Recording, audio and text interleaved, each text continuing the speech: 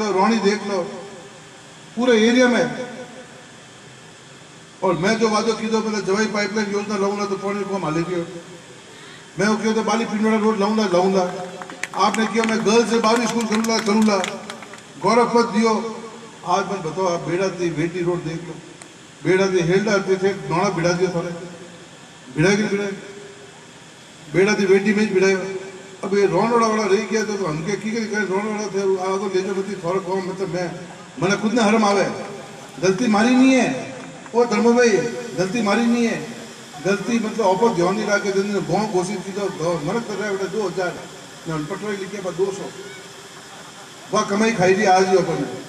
ये तो आदत कभी रोड बड़ी होती रोड वाला में पर होश करते मत भले कोई भी करना पड़ी थाने मतलब थाने मतलब रोड रोड, पेवर रोड बढ़ावे कौन दूँगा? तो विश्वास करजो मतलब जूना बेड़ा रोड भैरू जी बनायो, मैंने भाई करे, हाथ फेरियो पाछो बनायो। बाबसी वे होकड़ो जी महाराज जी कहता, बहुत अन्याय जी जोड़नो अन्याय जी जोड़ियो। कांग्रेस वाला तो बात तो बताओ कि मैं कोई कीधो वटे थोड़ा एन ऑफ़िस खोल दिया बिजली रो वाली जाओ कौन नहीं, कोई फोड़ा नहीं। ढोणी ढोणी मतलब गाँव गाँव में लाइटों लेगी ग्रासियो एरिया में लाइट ही नहीं थी। घर घर लाइट बुका दी। हमें तो सरकार आया बाद में लाइटों जाओ लगी। न मार टाइम में लाइट जाती तो फट फ़ोन आता फ़ोन आता कि एमएलए साहब, लाइट गई अरे वापसी ठहरो, मैं दो मिनट पुगाऊँ कर लाइट। हमें करना फ़ोन करो। कोई फ़ोन नहीं। हमें यूँ नहीं जाएगी मतलब पूरे पूरे दोपहर लाइट नहीं रहे। हमें कोई फ़ोन ही नहीं हमें मार्केट दूसरी बात पेंशन बंद कर दी, चार महीनों चार महीनों पेंशन बंद है। हो? रहे विधवा और पालन वाली योजना आपकी वह बंद है। जो रोड और कॉम हालता हुए क्रॉप बंद कर दिया। रोड और कॉम हालता हुए बंद कर दिया। और है वो मोटी बात है, छह हफ़्ता वे गया, नरेगा में जो कॉम करता मन को आज तक भुगतान नहीं किया। होली में तो नवे दिन तो अपन मतलब दिवाली, होली तो मतलब गरीब आदमी होली की मनावनी। सरकार ने मतलब बुद्धि में वही छे कि होली दिन तो कम कम उन्होंने जो कमाई की है वरना तनखा देनी सजे कि नहीं देनी सजे होली किया बना पना पिया कोई बैन करने जाए कोई हुआ कोई कट जाए कोई कट जाए होली में पिया भाई जेब में जेब में खर्चो करे हम पौन नहीं करते इतना इतना ही है एक महीनों में लारे फरेगी हूँ कि भाई कोई कंटीजेंसी योजना लाओ मतलब कोई ना कोई फॉर्म करो पौनी हाथ हाथ दिन में गाँव में आई गया और जवेरो पौनी तो मैं पास करे पर आ तो फूक तो फूक तो फूकी पर सरकार हाल तक अण जू अण कौन थी अण कौन थे जू नहीं हल्की दी तो हमारा आप सबने निवेदन है। पर मैं थोड़ा मतलब बैठो मतलब। अति ताकत तो है माँ में मतलब कि मतलब कि थोड़े वास्ते मतलब लड़ाई तो मैं लड़ सकूँ। अगर थोड़ा हाथ गई तो मतलब थोड़ा सा लड़ाई लड़वा में कोई कमी छोड़ू नहीं। माँ तो आपने एक ही निवेदन है कि उनतीस तारीख को अपने वोट है। और ऊपर जो फूल माता वोट दो तो मोदी ने डायरेक्ट मोदी ने वोट लागी। कने लागी मोदी जी ने वोट लागी। ना ओपन तो उनतीस तारीख में मतलब ओपन कोई नहीं देख लो फूल और निशान कटे है। उन्हें बटन दबाओ है मतलब ना मोदी जी ने मतलब अपन प्रधानमंत्री बनाना अगर ऊपर देश का मतलब जो सुरक्षा कर्मी है, जो ठेठ हिमालय में मतलब 40 डिग्री मतलब माइनस फोर्टी डिग्री में माइनस फोर्टी डिग्री में मतलब बर्फ़ में ओपन है मतलब ओपन सेवा वास्ते वे ओपन सुरक्षा दे। जैसलमेर में 48 डिग्री में वे मतलब रेत में मतलब हुए मतलब अपन ओपन बचावे दिया है। तो एक दिन तो ओपन भी फ़र्ज़ बने कि देश में अगर सुरक्षा वास्ते, अगर सही प्रधानमंत्री चयन करने वास्ते एक दिन तो ओपन भी फ़र्ज़ बने कि 48 डिग्री लू है तो मतलब एक दिन तो मतलब वोट दिन तो मतलब एक एक वोट लावे ने पेटी भरनी है मतलब।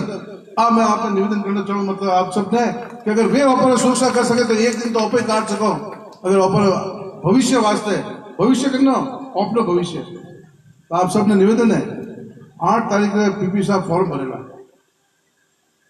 है बेटा फॉर्म भरावा ओपन है पूगो तो ये राज अणो जीव राजीव है। अटे किती है? एक बस किती है, दो बस किती है। ठीक है, एक बस किती एक बस किती है। गाँव तो तो मोटर का गाँव में चार बस भर सको। पर अगर थोड़ा लगे कि एक बस कम पड़े तो फिर दो तीन गाड़ियाँ लेने को भी ले जाओ ये कमी नहीं है। पर ओपन है ज़्यादा ज़्यादा जनता ने फॉर्म भरा। मुख्यमंत्री वसुंधरा जी भी आएगा आप लोग फॉर्म भरावा ओपन हार्टी ना उधर तक बोलते पूगनो है टाइम आता पूगा तो वसुंधरा जी बोले बीजी के फॉर्म भरवा जाना है तो वो प्रोग्राम करें पर दूसरे के जाएगा फॉर्म भरवा तो ऑफ़र मतलब साधन करान साधन नहीं है तो कपूर भाई ने मंडल अध्यक्ष जी आप हैं बात करें कार्यकर्ता हूँ ने एक बस कम पड़ती है भक्ति करनी है तो भक्ति भी करते गाँव में गाड़ी कोई कोई घाटो है नहीं आप सबने वो बढ़ावन दे जाऊँ कि उगनतीस तारीख में मतलब चुनाव मतलब देश सुरक्षित रखवा वास्ते चुनाव है। देश हित चुनाव है। अपन उनतीस तारीख में भारतीय जनता पार्टी कमल ने पूर्ण बटन दबावनो और बेड़ा गाँव में एक ऐसी जीत देनी है, ऐतिहासिक जीत। जो मतलब पीपी साहब ने ठा पड़े कि बेड़ा गाँव में कितनी जीत भी है। विधान मोटो गाँव है वाली में। क्या तो नौना है मोटो गाँव? न अपन वाली पंचायत समिति में मतलब पूरा हमारे विधानसभा में सब दो बड़ा गाँव है। अटे मतलब आप लोगों को बाईस वार्ड। है कितना वार्ड है? इक्कीस। न नौना में इक्कीस, नौना में इक्कीस। इससे बड़े पंचायत हमारे मतलब पूरी बाली विधानसभा में नहीं है। नौना और बेड़ा। तो अन, दो दो गाँव में बटन रहता, दबा दीजिए मतलब कि मतलब पेटी मतलब पूरी फुल हो जाए मतलब फंसा ऊपर मतलब खोल कह सको कि पीपी साहब हमें मारो कौन है ठीक है? बहुत बहुत धन्यवाद। जय हिंद, जय भारत। धन्यवाद साहब। विधायक महोदय ने बताया कि हमारा प्रधानमंत्री कैसा चाहिए? संसद में आप मानने वाला चाहिए या जिनकी आँखों से डेर कर पड़ोसी डरने वाले चाहिए? हमारे मोदी जी से अभिमान है और साहब ने बताया, विधायक महोदय जी ने उनतीस तारीख को, ये धर्म का युद्ध है, इसमें निमंत्रण देने की कोई आवश्यकता नहीं है। सौगंध है भारतीय और भारतीयता की, सौगंध है संस्कृति और संस्कार संस्कारों की। उठना है, उठना, उठाना है, जगना है, जगाना है, चलना है, चलाना है, दौड़ना है, दौड़ाना है। हर घर को जाना है, हर कुंडी को खटखटाना है और हर वोटर को आना है, कमल के फूल के बटन को दबाना है, हमारे सांसद महोदय को जिताना है और फिर से मोदी सरकार बनाना है।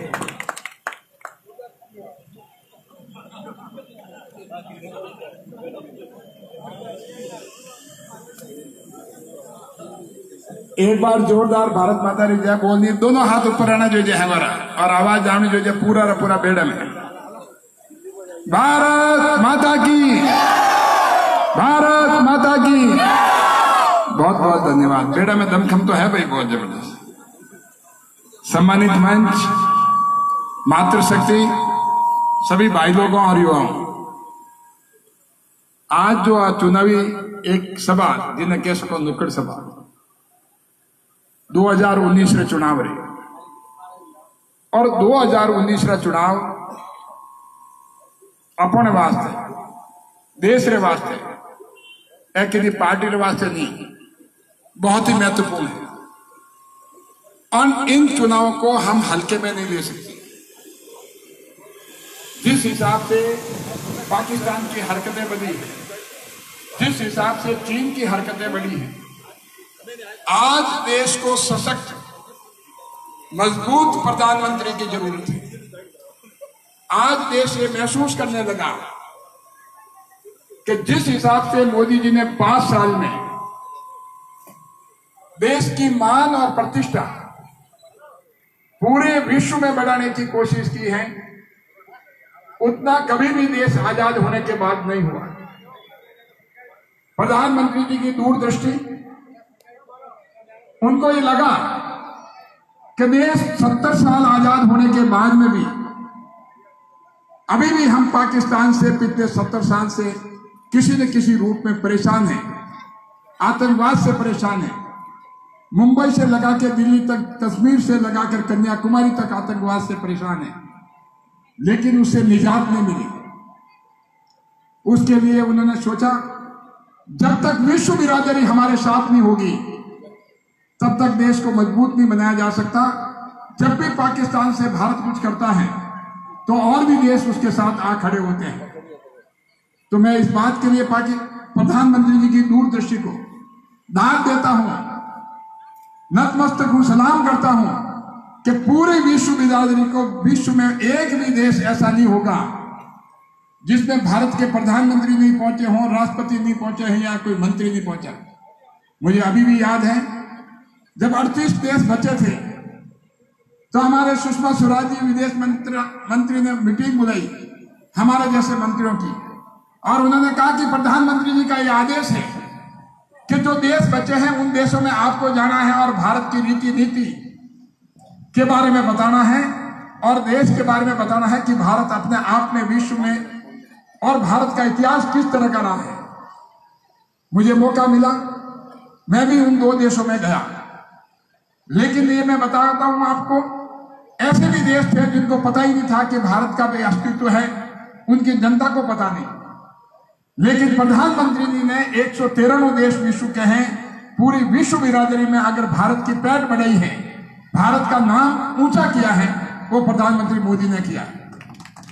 उनका मानना था कि अगर पाकिस्तान से निपटना है तो विश्व बिरादरी साथ होना ज़रूरी है, और यही वजह है कि दो बार पाकिस्तान की धरती पे जाकर करके जिस हिसाब से पाकिस्तान को मारा, वो त्रय त्रय करने लगा और विश्व बिरादरी की तरफ़ देख करके जब आवाज़ उठाई तो ये लगा कि विश्व बिरादरी में उसके साथ कोई नहीं है।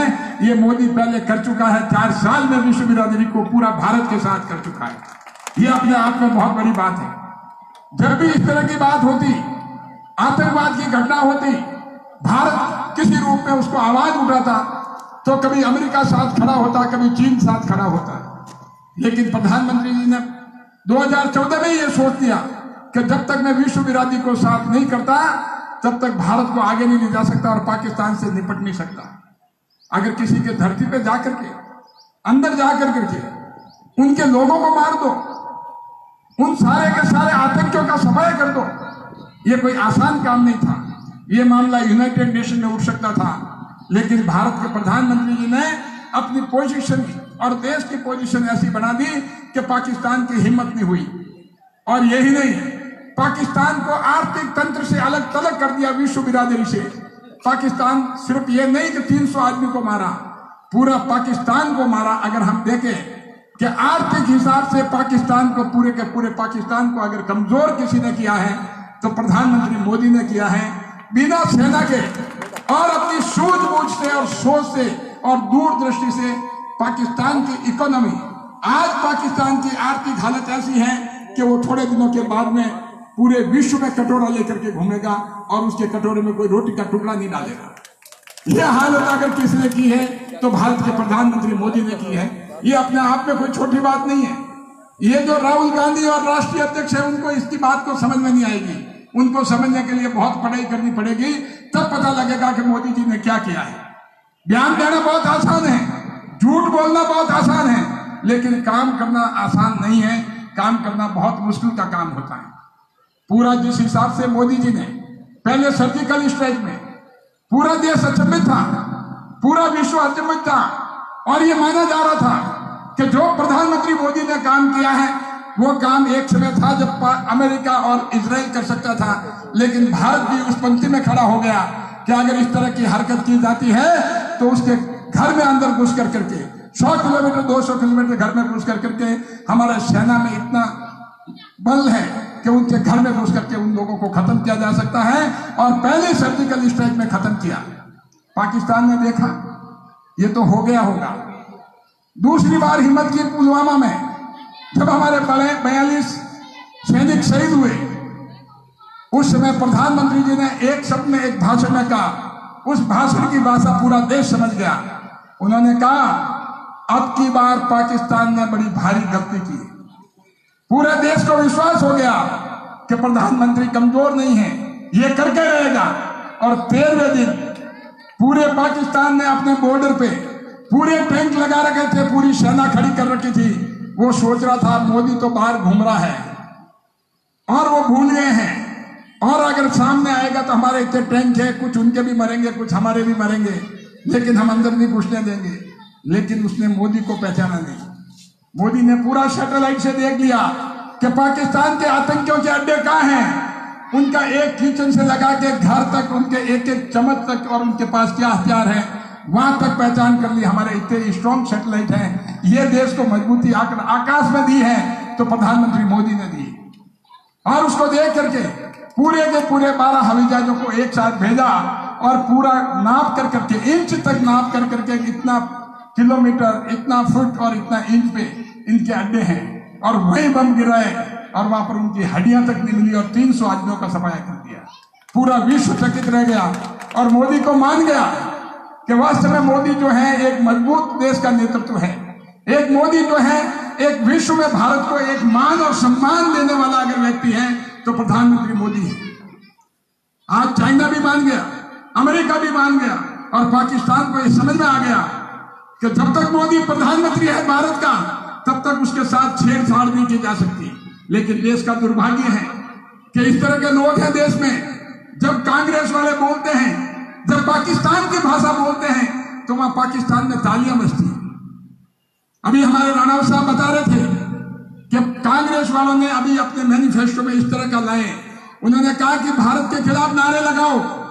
भारत, पाकिस्तान जिंदाबाद अगर कोई करे और भारत मुर्दाबाद करे और इस तरह के केसेज उन छोरों के खिलाफ में हो, उन लोगों के खिलाफ में वो केसेज वापस लेंगे और इस तरह का कानून खत्म कर देंगे। भारत के खिलाफ में नारे मुर्दाबाद के लग सकते हैं और पाकिस्तान जिंदाबाद लग सकता है। ये मानसिकता कांग्रेस की आप सोच के देखिए। कांग्रेस देश को कहा ले जाना चाहती है और मोदी कहा ले जाना चाहते हैं। इसीलिए मैं कहता हूँ 2019 के चुनाव, देश के लिए ये चुनाव किसी पार्टी का नहीं है। ये चुनाव कांग्रेस और बीजेपी का नहीं है। ये चुनाव जो है आम जनता का है, ये चुनाव देश का है, ये चुनाव देश के युवाओं का है, ये चुनाव देश के हर व्यक्ति का है, ये चुनाव देश की सुरक्षा का है, ये चुनाव देश के भविष्य के लिए है, ये चुनाव हमारे आने वाली पीढ़ियों के लिए है। इसीलिए मैं कहता हूँ, इस चीज़ से ऊपर उठ के हमें यह सोचना होगा कि इस चुनाव में मोदी को हमें लाना है और पूरे विश्व को दिखाना है कि मोदी के साथ पूरा देश है। मेरे कई कांग्रेस दोस्त मिलते हैं मैं धीरे से पूछता हूँ, अब की बार क्या हो रहा है? क्या हाल है? उन्होंने कहा कि घूम रहे हैं साथ में। कांग्रेस के साथ घूम रहे हैं। वोट मोदी को देंगे। पूरे देश में हवा एक में हुआ है। पूरा मोदी मोदी हो रहा है। पूरा देश चाहता है कि मोदी को दे। अरे मैं कांग्रेस के साधारण कार्यकर्ता की बात नहीं कहता हूँ। अभी हमारे राणा साहब ने, प्रतिभा पाटिल जो कांग्रेस की बहुत ज़बरदस्त लीडर थी देश की राष्ट्रपति के पद तक गई, वो स्वयं कहती है, आज देश को ज़रूरत है, वो खुद कहती है, आज देश की ज़रूरत है तो मोदी की ज़रूरत है। इसका मतलब क्या हुआ? वो खुद मान गई कि राहुल वाहुल नहीं चलेंगे देश के लिए। ये उसने सीधे शब्दों में नहीं कहा, लेकिन मतलब ये है, अगर मोदी की ज़रूरत है तो राहुल की ज़रूरत नहीं है। तो अगर कांग्रेस का लीडर जो राष्ट्रपति के पद तक जाए और देश के लिए वो उसके मन से सच्चाई निकल जाए तो ये सच्चाई जो है भाई और बहनों, ये आपके मन में ही नहीं, हर भारतीय के मन में है, हर देश प्रेम रखने वाले के मन में है, जो देश के लिए गद्दारी करता है, उसके मन में नहीं है, लेकिन जो देश प्रेमी है, वो ये चाहता है कि मोदी वापस प्रधानमंत्री बने। मैं आपसे निवेदन करता हूँ कि इस चुनाव जो है, इस चुनाव में आप ये मत समझिए कि भारतीय जनता पार्टी का कार्यकर्ता खड़ा है और वो वोट लेके आएगा और सिर्फ़ वोट लाने का और वोट दिलाने का काम उसका ही है। मैं आपको देश हित की बात कर रहा हूँ। आप सबको मन में ये प्रण ले लीजिए। मैं मेरा वोट तो डालूँगा जो डालूँगा ही। लेकिन मैं आसपास जो है, मैं एक कार्यकर्ता के रूप में, मैं एक देशभक्त के रूप में, मैं एक देश के हितैषी के रूप में, दूसरे भी जो वोट है जगह जगह से मैं इकट्ठे करके सारे के सारे वोट दिलाने की कोशिश करूँगा। और ये बता दूँगा कि हमारे बेड़ा में जो है सौ प्रतिशत वोटिंग भी कैसे होती है, ये हमें मिसाल कायम करनी है, बताना है कि बेड़ा की जनता जागरूक है। आज जो है, जो कांग्रेस के लिए सबसे बड़ा खतरा है, वो आपकी जागरूकता है। कांग्रेस ने देश को बर्बाद इसलिए कर रखा उन्होंने जब भी कांग्रेस, जब अंग्रेज़ गए, उसके बाद में लगता है कि अंग्रेज़ों ने कांग्रेस के कान में फूक मारी। उन्होंने कहा कि अगर राज लंबा करना है तो जिस दिन जागरूकता जनता में आ गई, वो जागरूकता आपकी दुश्मन है। आज देश में पैंसठ प्रतिशत युवा पैंतीस साल से नीचे है। हर युवा चाहता है कि मोदी आवे और मोदी की सरकार बने। और यही युवा है जो हमारे बुज़ुर्गों को, हमारे बड़े बूढ़ों को वो बताते हैं कि उनका भविष्य अगर सुरक्षित रखना है तो मोदी को प्रधानमंत्री बनाना ज़रूरी है। आप इस बात से सहमत हो मोदी को प्रधानमंत्री बनाना? सहमत हो? तो मेरे साथ सब दोनों हाथ खड़े करके बताओ। दोनों हाथ एक भी हाथ नीचे नहीं रहे। और मैं बोलूँगा आपकी बार पाँच बार और हाथ सबके दोनों ऊपर रहे मैं बोलूँगा आपकी बार, आप में लगे मोदी सरकार। एक भी हाथ नीचे रहे दोनों हाथ ऊपर होकर के। अब की बार, अब की बार, अब की बार, अब की बार, अब की बार। बहुत बहुत धन्यवाद। जहाँ तक काम की बात है, समय का अभाव है। वो मुझे गिनाना नहीं है। आज मैं काम गिनाना नहीं, आज मैं बताने आया हूँ कि आप अपने आप को मोदी समझे, आप ये समझे कि ये चुनाव आपका है। आप अपने आप को पीपी चौधरी समझे, ये आप ये समझे, ये चुनाव आपका है। ये चुनाव किसी पार्टी का नहीं, ये चुनाव भारत के जो राष्ट्रभक्ति के जिसमें प्रेम भावना है, ये चुनाव आपका है। और 29 तारीख को अगर मोदी आपके लिए पाँच साल दे सकता है तो एक दिन आप देश के लिए दे सकते हो। अगर मोदी पाँच साल देश के लिए दे सकता है तो एक दिन जो है सिर्फ़ एक दिन आप देश के लिए दे सकते हो तो आप भी इस हवन में अपनी आहुति दें और एक दिन देश के लिए दें और अपने आसपास के जो भी वोटर हैं, आप ये समझें, मुझे ज़्यादा से ज़्यादा वोट दिलवाने हैं। और ये जो है, ये आहुति अपने आप में देश के लिए बहुत बड़ी होगी। और जिस हिसाब से आपने 2014 में मेरे पे विश्वास करके कि आपने चार लाख वोटों से एक चौका लगाया था? अब की बार दिखा दीजिए। पूरे देश को दिखा दीजिए, छक्का लगा करके दिखा दीजिए और मोदी जी को बता दीजिए कि जो प्रेम है आपके प्रति, वो मेरा की जनता का बहुत अटूट है। इन्हीं शब्दों के साथ में आपको बहुत बहुत धन्यवाद और जय हिंद, जय भारत। लेकिन